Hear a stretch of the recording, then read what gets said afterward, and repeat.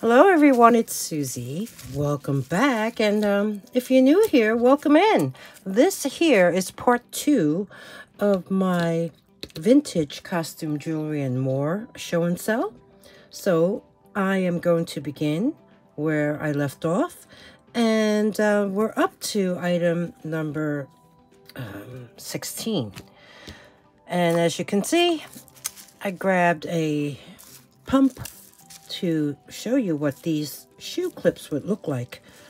Um, this is just the shoe I have from work. Wardrobe gave these to me to wear. And set dressing, you know, they put these um, plastic rubber heel protectors on them. So when you walk, you don't make noise. Anyway, these are the beautiful, look at these. These are glass, most likely crystal, rhinestone shoe clips. These are branded. They are by the the company Musi, M-U-S-I, and they're in great condition. So I figured let me grab a, a shoe and just show you basically what it would look like on. So it kind of reminds me of, um, I don't know if anyone has watched Sex and the City, and Sarah Jessica Parker has these pair of blue, um, I believe they're suede, uh, Manano, Mananos, how do you say that? Man, Manol, Manolas, Manolos? It's been a while since I've seen that, but I recall she had a shoe clip which was rectangular, I believe, that was on the pump, and it just really gave that shoe a pop. Well, anyway, here is what this here shoe clip would look like. We have this here, and that's how they are placed on there are these uh, little spikes on those two tabs where you press into your shoe. This here will be item number 16. The next item are shoe clips as well. In fact, I think I have three pairs. Uh, these here are rectangular, as you can see. Beautiful. I believe these rhinestones are a bit larger. You know what? Here you can see the comparison. They're about the same width, um, but this here shoe clip feels a bit heavier for some reason. Um, here's the back of these.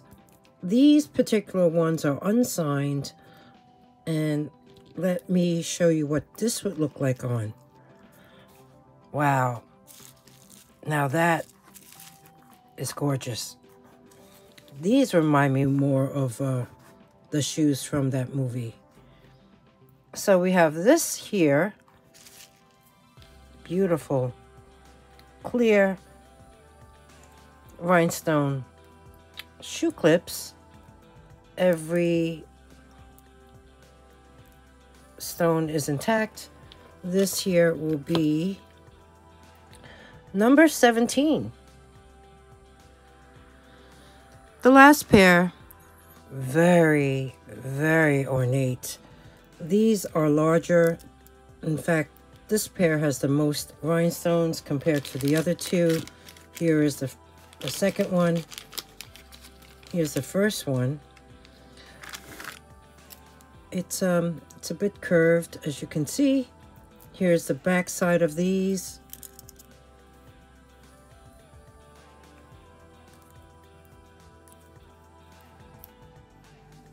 Really beautiful. And every rhinestone is intact.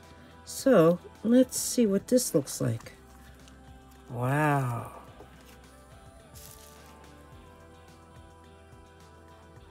That's pretty. So we have this. And this will be, oh, let's get those out of the way so you don't get confused. This one here will be number 18. There you go. Okay, last one. Last shoe clip. These are gold tone, as you can see, with that swirly design. These clips are actually hinged. So there is a hinge right there. I don't see, um, I don't see a, a signature or brand. But let's see what these would look like.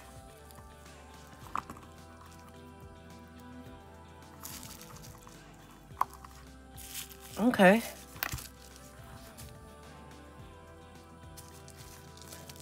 Shoe clips are like brooches for shoes. That's pretty. So we have this pair. Gold tone. This here will be item number 19.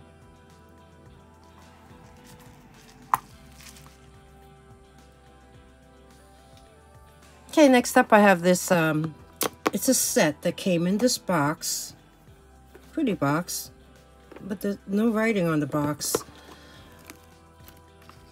It is a brooch and earrings set. Wow, beautiful blue glass faceted beads, um, rhinestones. I love when they have the multi-prongs around them. You have the filigree openwork leaves. This is all in silver tone. Here's the back of it. I don't see any um markings. The pin is nice and straight. It is a rollover clasp. Let's take a look at the earrings. Pretty pink, velvety clip-ons. Clip-ons take one out. Let's take a clip-on earring out. Really clean.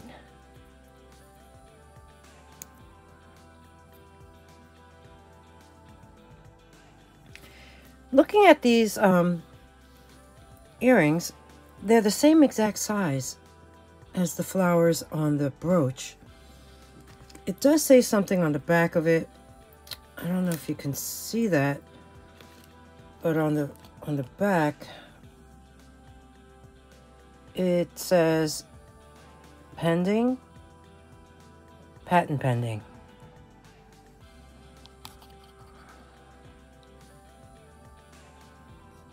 Yeah, right there, patent pending. Okay. This set is in really nice condition. Comes with the box. I will place that in better. I'll do that off camera. Um, so we have this set. Beautiful. Really nice. And this will be... Oh, here's the, the sun, the sun. Item number 20.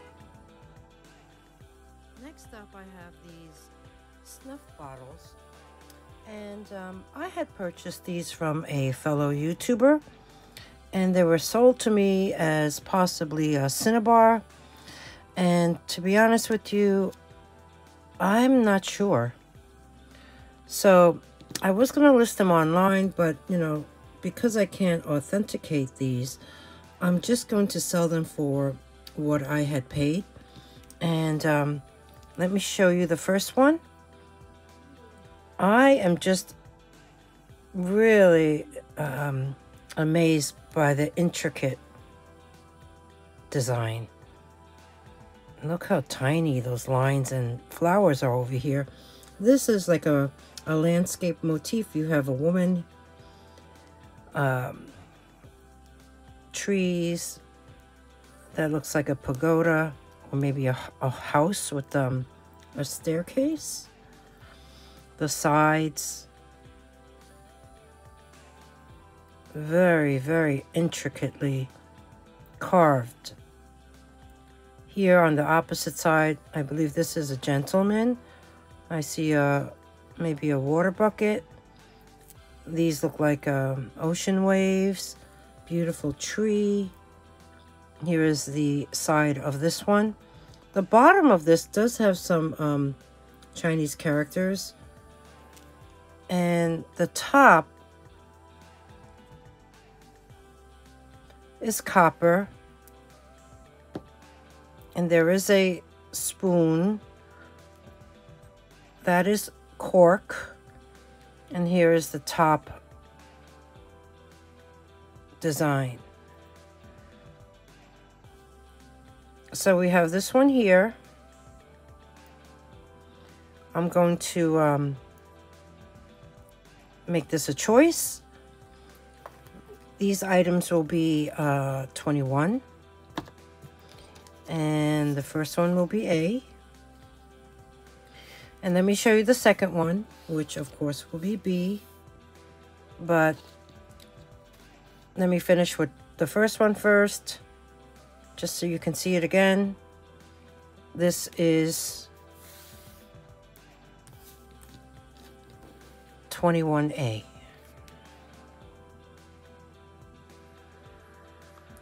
Twenty-one B is more like a, a, a vase or a vase. This one here has beautiful flowers carved with a very nice backdrop. You do have carvings all around on either side. It's almost as if they're in a frame. And then on the opposite side is another um, floral motif. And you have a butterfly and a dragonfly. This, I guess, is missing that bottom piece. This one here also has a little spoon. It is brass. There's a brass ring. And also the spoon is connected to a tiny piece of uh, cork cylinder. So we have this one here. And this one is 21B. So here I'll bring them back out again. So you can see them. 21A, 21B. Next I have this gold tone brooch. Yeah, this is a brooch and there are seven beautiful green glass faceted, let's see, bezeled set rhinestones. Look at that multi-sawtooth bezel. A very unusual brooch. I thought it was a hair clip, but nope, it's a brooch. And as you can see on the back, um, that shows um, it's a foil back and some of the foil has been rubbed off. Therefore, the green glass shines through. And also some of the gold wash is rubbed off as well. So this was pretty, uh, pretty loved. Very long pin, rollover clasp, very unusual. This one here will be item number 22. Next up, I have this brooch. It is, I believe, from the 60s. Um, it is a bezeled sugar glass oval brooch with the floral motif. It has, I would say this is a brass tone, uh, filigree scalloped frame going around. You have these really nice prongs holding the center. Turn it around very ornate filigree backing. And if you look close, I guess I should bring in the magnifier for this. You see on the rollover, no, on the on the pin, it says, can you see that? Made Germany. So this is signed Made Germany on the clasp pin. It is slightly bowed it is a rollover clasp. This here brooch measures in at two inches high and about an inch and a half wide.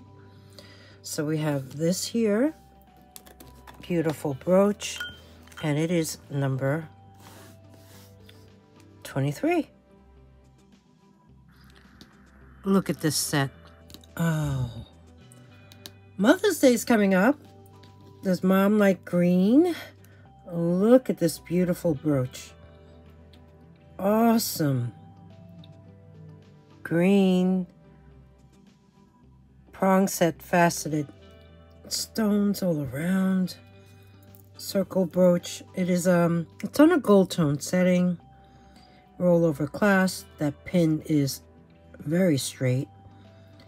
It is in beautiful condition.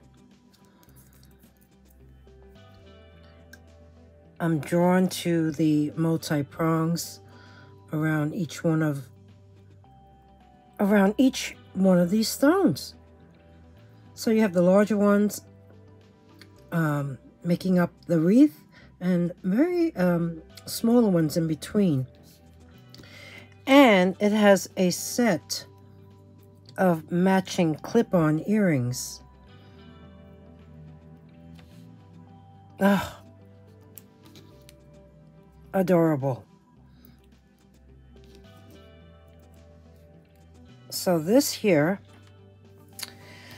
this set will be item number 23. Oh gosh, going through my um, box, I noticed I forgot this um, shoe clip. This is another set. This one here has um, kind of like a ribbon of rhinestones falling down. And it's uh, like a bow motif. So with the shoe back here, just to show you what it would look like. Now this is pretty.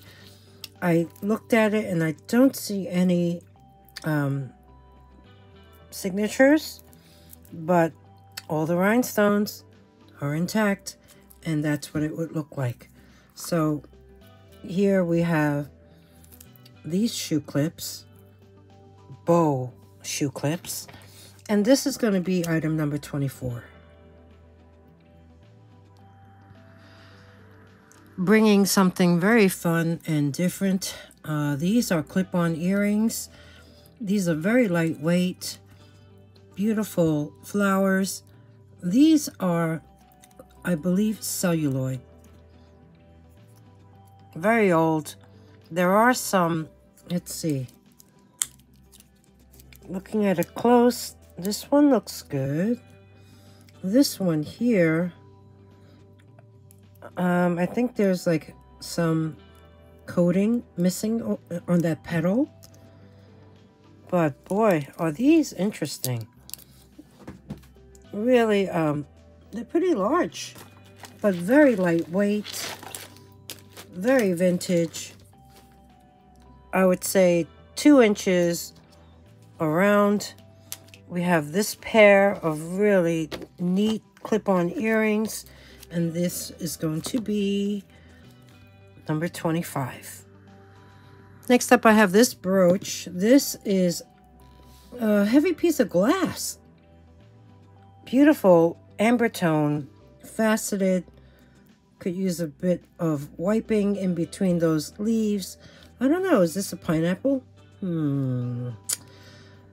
There's the back. It can also be worn as a necklace. And it is signed Sarah Cove. So this is a Sarah Coventry. Beautiful pendant brooch. And this will be number 26.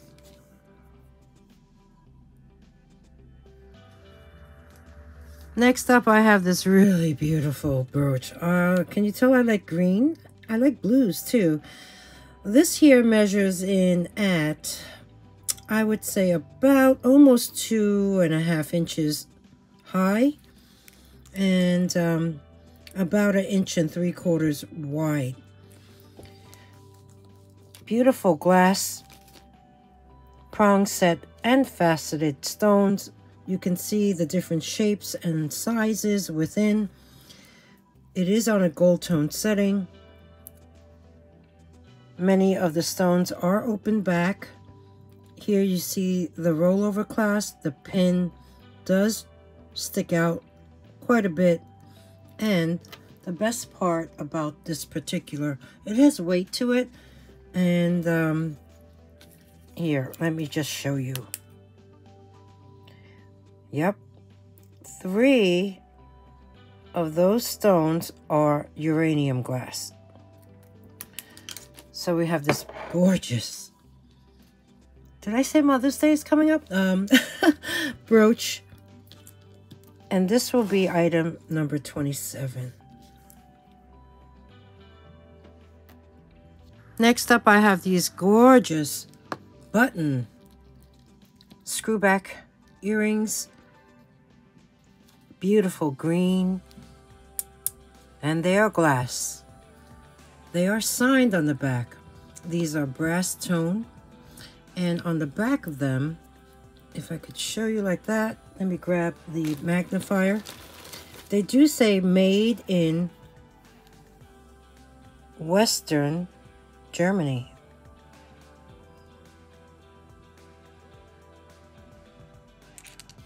They look like candy. So this here was originally purchased some time ago, but the person um, never followed through. So I'm bringing them back. And these beautiful vintage glass earrings will be item number 28. Uh, signed, made in Western Germany. Next up, I have this beautiful red and clear rhinestone heart brooch. Open work. There's the back of it. No brand. This one here measures in at about an inch and three quarters wide and um, a little more than an inch and a half high. I love the way it glistens, you know. Um, that's due to all the little facets on those stones. This is a pretty one. This one here will be item number 29. So, you know, one more to go. I did say I was going to do uh, 15, like the first part. And the next one, um, I'm going to talk about because there's a lot of history behind that brand. So let's move on and see what that is. What I have here is a beautiful silver tone bracelet as you can see, it's a high setting of this intaglio. Beautiful carved swans, two swans. Um, there is a sawtooth bezel, open work design. It is hinged, and um, there is a safety chain. And right here, you press that down to open it. And there you could see the inside. Okay, there is a couple, um, a couple marks over here. And over here. But there is a brand, and I want to show that to you. And um, we know this brand for their beautiful mesh purses but they also make jewelry. As you can see, it says Whiting and Davis Company mesh bags. So we have this here, Whiting and Davis bracelet with the double swans, glass, this is um, vintage. Due to the size, it's only um, six and a half inches in circumference. This here will be number 30. Now, let me talk about Whiting and Davis. So, in 1876, Wade Davis and Company was the precursor to Whiting and Davis. That company was founded by William H. Wade, Edward P. Davis, and uh, Lewis Heckman in Massachusetts. Charles Whiting joined the company in 1880. He was only 16 years old, but he moved up the ranks to management. In fact, in 1892, when he was 28, Mr. Whiting designed the first mesh bag. All rings were formed and joined by hand. By 1912, a machine was invented to automate that mesh making process. So, back to the company in 1896, when Mr. Whiting was 32, he and Mr. Davis formed a partnership, raised money to purchase the company. And they renamed it to the Whiting and Davis Company. By the 1920s, they were so well known for high quality purses, it was basically the coveted accessory for actresses, flappers, well dressed women everywhere. They became the world's leading mesh handbag manufacturer. And in the 30s, they collaborated with high profile designers such as Paul Perret uh, or Perot and um, he was known for very colorful and um, beading and added a Parisian style to their purses. And they also collaborated with Elsa Schiaparelli. And all these creations continue to attract stage and screen actresses and just became the latest craze. Continuing on in the 1940s during World War II, raw materials were um, in a shortage, so Whiting and Davis temporarily stopped production, just like many, many other jewelry brands had done, to turn their attention to supporting the war efforts by manufacturing um, radar equipment, among other things. But after the war ended, the company returned back to business. So, continuing on in the 50s, they were again very popular with the screen and stage.